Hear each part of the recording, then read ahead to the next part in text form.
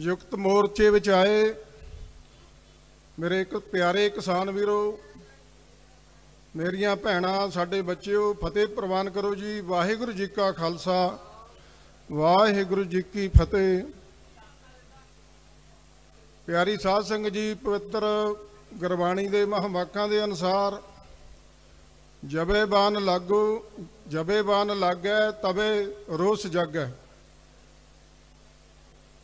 ਪਿਆਰੀ ਸਾਧ ਸੰਗਤ ਜੀ, ਪਿਆਰੇ ਕਿਸਾਨ ਵੀਰੋ, ਜੋ ਆਪਣੇ ਤੇ ਇਸ ਸੈਂਟਰ ਦੀ ਅੰਨੀ ਬੋਲੀ ਗੂੰਗੀ ਸਰਕਾਰ ਨੇ, ਤਿੰਨ ਆਰਡੀਨੈਂਸ ਜਿਨ੍ਹਾਂ ਨੂੰ ਆਪਾਂ ਕਾਲੇ ਕਾਨੂੰਨ ਕਹਿੰਦੇ ਹਾਂ, ਉਹ ਜਾਰੀ ਕੀਤੇ ਗਏ ਹਨ, ਧੱਕੇ ਨਾਲ ਥੋਪੇ ਗਏ ਹਨ।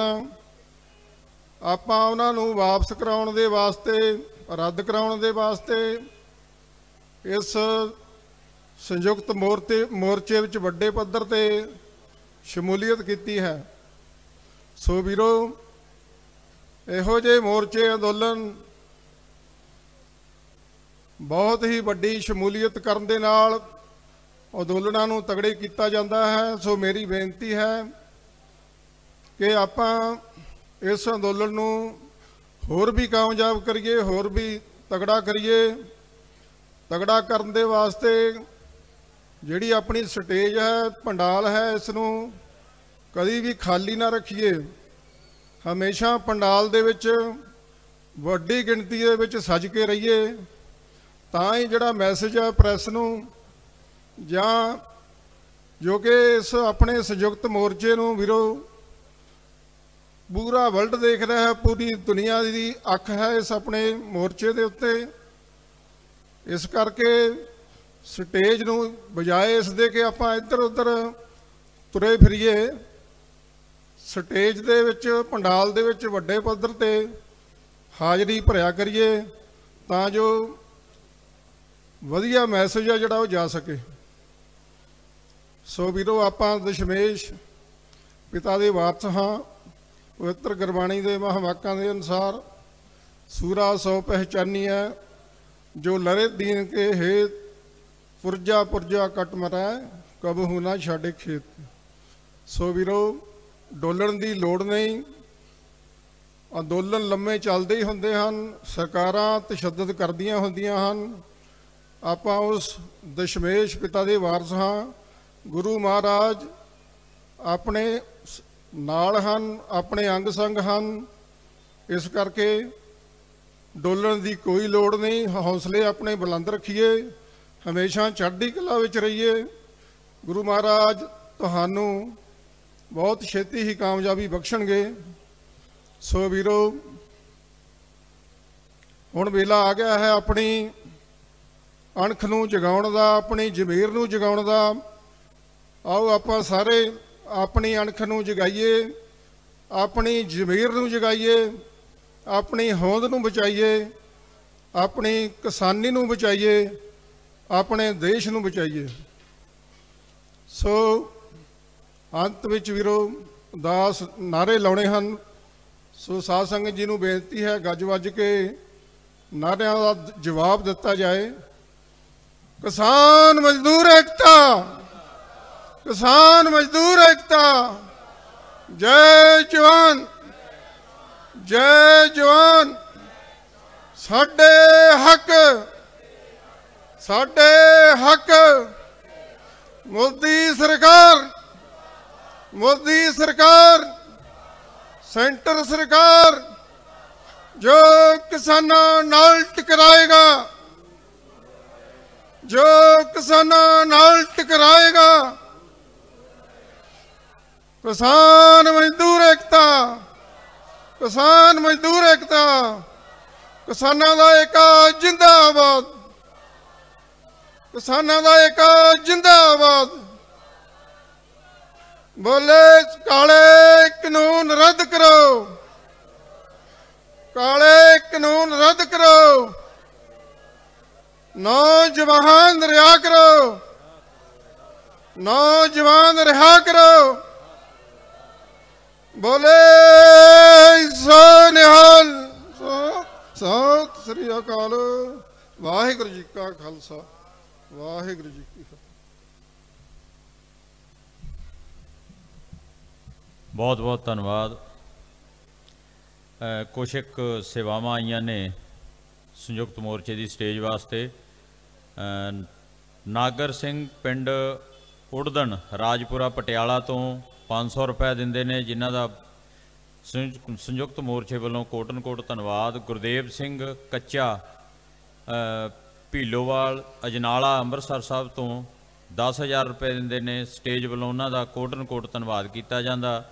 ਗੁਰਮੁਖ ਸਿੰਘ ਦਿੱਲੀ ਤੋਂ 200 ਰੁਪਇਆ ਇਹਨਾਂ ਦਾ ਵੀ ਸਟੇਜ ਵੱਲੋਂ ਧੰਨਵਾਦ ਕੀਤਾ ਜਾਂਦਾ। ਸਰਬਜੀਤ ਸਿੰਘ ਅ, ਸ਼ਾਮਨਗਰ ਦਿੱਲੀ ਤੋਂ 5000 ਰੁਪਏ ਇਹਨਾਂ ਦਾ ਵੀ ਬਹੁਤ ਬਹੁਤ ਧੰਨਵਾਦ। ਡਾਕਟਰ ਕ੍ਰਿਸ਼ਨ ਸੰਧੂ ਗੁਰੂ ਨਾਨਕ ਦੇਵ ਯੂਨੀਵਰਸਿਟੀ ਅੰਮ੍ਰਿਤਸਰ ਸਾਹਿਬ ਤੋਂ 15000 ਰੁਪਏ ਇਹਨਾਂ ਦਾ ਵੀ ਕੋਟਨ ਕੋਟ ਧੰਨਵਾਦ। ਗੁਰਜੀਤ ਸਿੰਘ ਆਸਟ੍ਰੇਲੀਆ ਤੋਂ 2100 ਰੁਪਏ। ਇਹਨਾਂ ਦਾ ਬਹੁਤ ਬਹੁਤ ਧੰਨਵਾਦ। ਬਲਜਿੰਦਰ ਕੌਰ, ਜ਼ਿਲ੍ਹਾ ਲੁਧਿਆਣਾ, ਪਿੰਡ ਧਰੌੜ ਤੋਂ 2500 ਰੁਪਇਆ ਜੋ ਸਟੇਜ ਦੀ ਸੇਵਾ ਕਰਦੇ ਨੇ। ਇਹਨਾਂ ਦਾ ਵੀ ਕੋਟਨ ਕੋਟ ਧੰਨਵਾਦ। ਮਦਨ ਸਿੰਘ ਬੈਂਸ, ਚਮਕੌਰ ਸਾਹਿਬ, ਰੋਪੜ ਤੋਂ 500 ਰੁਪਇਆ। ਇਹਨਾਂ ਦਾ ਬਹੁਤ ਬਹੁਤ ਧੰਨਵਾਦ। ਬਲਕਾਰ ਸਿੰਘ, ਪੁਰਾਣਾ ਖਾਦ ਵਾਲੇ ਗੁਰਦਾਸਪੁਰ ਤੋਂ 500 ਰੁਪਇਆ। ਇਹਨਾਂ ਦਾ ਬਹੁਤ ਬਹੁਤ ਧੰਨਵਾਦ। ਸ਼ਾਹਬਾਦ ਸੰਗਤ ਬਟਾਲਾ ਤੋਂ 500 ਰੁਪਇਆ। ਇਹਨਾਂ ਦਾ ਵੀ ਬਹੁਤ ਬਹੁਤ ਧੰਨਵਾਦ। ਇਕਬਾਲ ਸਿੰਘ ਮਜਾਰੀ ਜ਼ਿਲ੍ਹਾ ਸ਼ਹੀਦ ਭਗਤ ਸਿੰਘ ਨਗਰ ਤੋਂ 2100 ਰੁਪਇਆ। ਇਹਨਾਂ ਦਾ ਵੀ ਬਹੁਤ ਬਹੁਤ ਧੰਨਵਾਦ। ਤੇ ਇੱਕ ਜਗਤਾਰ ਸਿੰਘ ਢੀਂਡਸਾ ਨੈਸ਼ਨਲ ਭੁੱਖ ਹੜਤਾਲ ਕੀਤੀ। ਇਹਨਾਂ ਨੇ 63 ਦਿਨ ਤੇ ਜੀਰਕਪੁਰ ਨਾਭਾ ਸਾਹਿਬ ਗੁਰਦੁਆਰਾ ਤੋਂ ਸਿੰਘੂ ਬਾਰਡਰ ਤੱਕ ਨੰਗੇ ਪੈਰ ਪੈਦਲ ਯਾਤਰਾ ਕਰਕੇ ਆਏ ਨੇ। ਇਹਨਾਂ ਨੂੰ ਸਿਰ ਝੁਕਾਉਂਦੇ ਆ ਇਹਨਾਂ ਨੂੰ ਸਲੂਟ ਕਰਦੇ ਆ ਜਿਨ੍ਹਾਂ ਨੇ ਏਡੀ ਹਿੰਮਤ ਕੀਤੀ, ਤਾਂ ਹੁਣ ਮੈਂ ਬੇਨਤੀ ਕਰੂੰਗਾ, Ravindranath Rai, president people democratic front UP ਤੋਂ ਨੇ। ਉਹਨਾਂ ਨੂੰ ਮੈਂ ਬੇਨਤੀ ਕਰੂੰਗਾ ਕਿ ਉਸ ਮਾਈਕ ਤੇ ਆਉਣ। ਰਵਿੰਦਰਨਾਥ ਰਾਏ ਜੀ।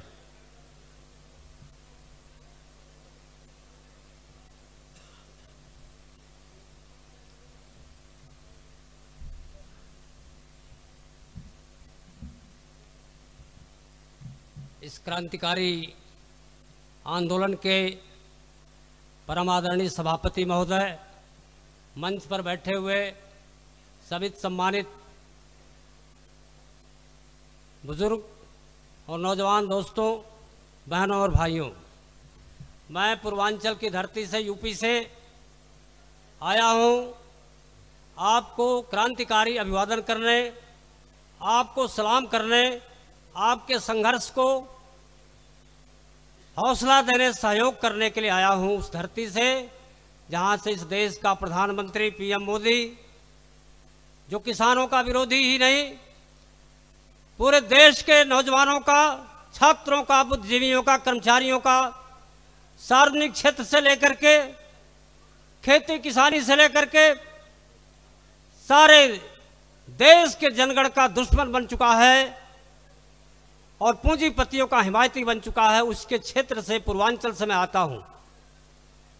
मुझे दुख है इस बात का कि जो आश्वासन इस सरकार और इस प्रधानमंत्री ने दिया देश की जनता को, हमारे यूपी को, पूर्वांचल को, एक भी वादा पूरा नहीं किया, एक भी वादा पूरा नहीं किया, बल्कि जितने वादे किए, सबके खिलाफ, सबके विपरीत आचरण किया। इसने कहा था कि पुरानी सरकार की जो भी कमियाँ हैं, उसको हम दूर करेंगे। एक भी कमी दूर नहीं किया। चाहे नोटबंदी हो, जीएसटी हो, या कृषि कानून हो, इसके अलावा जितने भी सार्वजनिक क्षेत्र से सबका निजीकरण, किसानों के काले कानून, जिसके लिए किसान आंदोलित हैं विगत 80 दिनों से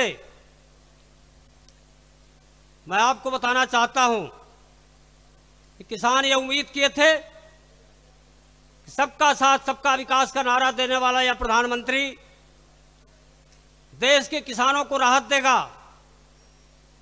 एमएसपी की गारंटी हर फ़सलों की देगा। पूरे देश में हम सरकारी मंडियों की जाल फैलाएगा और सभी किसानों की फ़सल को सरकारी गोदामों में रखेगा, एफसीआई में। जहाँ से सरकारी वितरण प्रणाली, सार्वजनिक वितरण प्रणाली गरीबों को सस्ता अनाज सुलभ होगा। लेकिन ऐसा नहीं किया उसने। कृषि के तीन काले कानून बना करके किसान के अन्न को पूंजीपतियों की झोली में डालने की कोशिश किया। लेकिन बहादुर जवान यहाँ के बहादुर किसान पंजाब के, हरियाणा के, पश्चिमी उत्तर प्रदेश के, सूरज की रोशनी की तरह से पूरे देश को आज रोशनी दिखा रहे हैं। उनकी ललकार पर पूरा देश टिका हुआ है। सारा देश ये शुभकामना दे रहा है। चाहे बीएसएनएल के लोग हों, चाहे विद्युत विभाग के लोग हों, चाहे शिक्षक हों, कर्मचारी हों, चाहे एल के लोग हों, बैंक के लोग हों किसान के साथ साथ सारे लोग, मैं कल से ही देख रहा हूँ कि बीएसएनएल के लोग आए थे यहाँ पर। स्टूडेंट्स आए थे, लड़के आए थे, लड़कियाँ आई थी। समर्थन कर रही थी आंदोलन का। देश के कोने कोने से लोग यहाँ पर, गाजीपुर बॉर्डर पर, टिकरी बॉर्डर पर, जो जितने दिल्ली के बॉर्डर हैं, सब पर हमारे देश के कोने कोने से लोग आ रहे हैं। त्रिपुरा तक के डॉक्टर लोग आए हैं, यहाँ पर सेवा दे रहे हैं। हम लोग तुम्हारे लिए यूपी से आए मेरी आप सबसे गुजारिश है कि किसानों की एकता को बढ़ाने के लिए, मज़बूत करने के लिए देश के जितने भी नौजवान हैं, जितने भी छात्र हैं, जितने भी अन्य संगठनों के कर्मचारी हैं, लोग हैं, सबकी एक व्यापक एकता बनावें और अपनी मांगों को पूरे देश में हम लोग जहाँ भी आप लोग आह्वान करते हैं, यहाँ से भारत बंद का चक्का जाम का, सबको हम लोग कोशिश करते हैं कि यूपी के जिस हिस्से में हम लोग रहते हैं, उसका पालन कराया जाए। और मैं एक बात कहना चाहता हूँ, चूँकि डेमोक्रेटिक पीपुल्स फोरम से हूँ, कहीं भी लोकतंत्र नहीं इस देश में बचा हुआ है। लोकतंत्र की हत्या हो रही है। एक जनवादी एक लोकतांत्रिक संगठन का जिम्मेदार व्यक्ति होने के नाते मैं दावे के साथ कह सकता हूँ कि सरकार तानाशाही के रास्ते पर चल रही है। खुलेआम पूंजीपतियों का, साम्राज्यवादियों का साथ दे रही है। खुलेआम पिछली कंपनी राज को वापस लाना चाहती है, जिसको लड़कर के भगत सिंह जैसे शहीदों ने अपने खून से इस धरती को सींच करके बाहर निकाला था। आज उसी भगत सिंह की शहादत के वारिस हम सब लोग हैं। और कंपनी राज स्थापित नहीं होने देंगे हमारा वादा है। हम सब लोग ये वादा करते हैं, जितने देश के किसान हैं, मजदूर हैं, नौजवान हैं, विद्यार्थी हैं, छात्र हैं, बुद्धिजीवी हैं, कि कंपनी राज वापस नहीं आएगा। सब लोग किसानों की लड़ाई में किसानों का साथ देंगे। कृषि के तीनों काले कानून वापस होंगे। एमएसपी की गारंटी सरकार को करनी पड़ेगी। और जितने नौजवान फंसाए जा रहे हैं। गलत तरीके से सबको छोड़ना होगा। इन शब्दों के साथ भगत सिंह को याद करते हुए मैं अपनी बात समाप्त करना चाहता हूँ। आपके आंदोलन में पूरी तरह से समर्थन हमारा है और हम लोग हर आह्वान पर आपके साथ हैं। जो भी आह्वान यहाँ सब करेंगे हम लोग, यूपी में उसको लागू करने की जहाँ भी जिस हिस्से में रहते हैं, पूरी कोशिश करेंगे। लिख रहा हूँ, मैं अंजाम जिसका कल आगाज आएगा मेरे लहू का हर एक कतरा इनकलाब लाएगा जय हिंद जय भारत